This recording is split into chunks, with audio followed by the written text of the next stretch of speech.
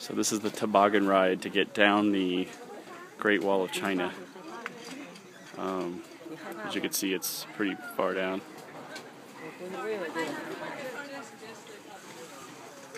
It came up on those cable cars, ski lift type thing.